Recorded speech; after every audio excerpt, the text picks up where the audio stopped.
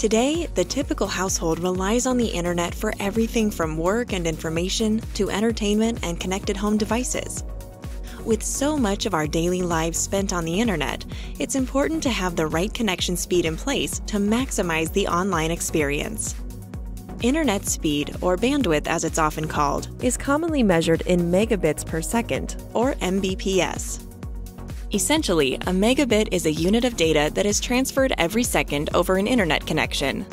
The higher the number, the more data passes through your connection. Simple online tasks like surfing web pages or social media only require a small amount of data. On the other hand, streaming high definition movies, music, or online gaming tends to require higher speeds for an uninterrupted quality experience.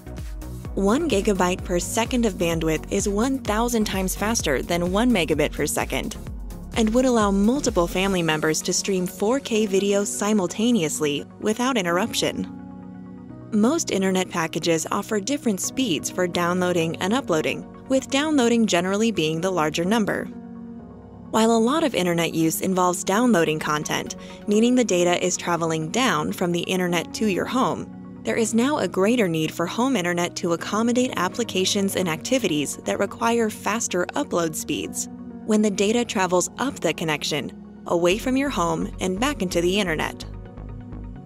Uploading speed is critical for things like video chats, video streaming, online gaming, and remote working activities like video conferencing, file transfers, sharing, and storage so you should ensure you have an upload speed that is equivalent to your download speed if you plan on doing a lot of video conferencing.